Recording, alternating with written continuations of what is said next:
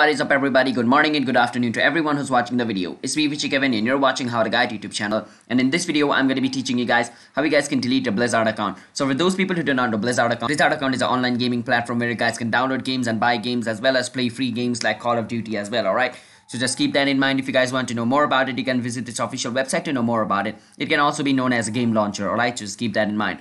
So let's get into the video but before that do hit that like and subscribe to our YouTube channel with notification on so you guys can get notified for a future video. And if you guys have any question you can ask us in the comment. Let's jump right into the video. First step is you want to go to blizzard.com like this. You want to go to your search engine and you want to go to blizzard.com once you go to blizzard.com it's going to take you to the official website of blizzard. Once you're over here you want to log in into your account. Once you log in into your account what you want to do is you want to click on reset support. Now to delete your account once you go on support you want to search for delete account all right? So just wait for some time. It's taking me to the support section of blizzard over here. Once you're over here you want to search for delete battle.net account. Once you search for it once you're over here you want to search for this thing called deletebattle.net account over here all right so i'm on page two over here so you might find this on page one but i didn't so i need to go to page two. You guys also might need to go to page two or three so just search for deletebattle.net account over here once you click on it, it's going to take you to the page where you guys can delete your battle.net account, which means a Blizzard account. Once you're over here, you want to scroll down and click on where it says here over here. Once you click on here, it's going to take you to the battle.net deleting page, alright? So once you're over there, you might just need to provide some account information. So just wait for some time. Let me show you how you guys can do that. Once you're over here, you want to read all these terms and service. After reading it, you want to tick mark this